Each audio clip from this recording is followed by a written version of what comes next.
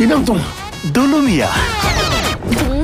Super ঢাকাই cinema superstar Shakib Khan ও বলিউডের সোনাল চৌহান অভিনীত দরদ সিনেমাটি কবে আসছে তা নিয়ে ভক্তদের কপালে চিন্তার ভাত ছিল অনেক দিন ধরেই। কিছুদিন আগে ঘোষণা করা হয়েছিল সেপ্টেম্বরের কথা, তবে দিনক্ষণ জানানো হয়নি তখন। এবার জানা গেল মুক্তির তারিখ।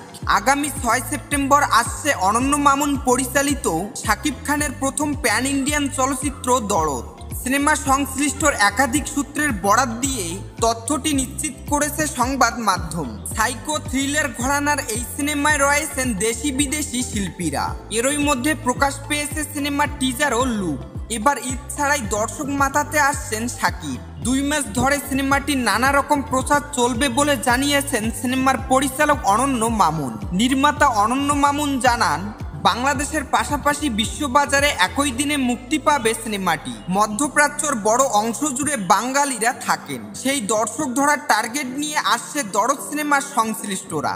বাংলা ভাষার পাশাপাশি সিনেমাটি মুক্তি পাবে ভারতের বিভিন্ন ভাষায়।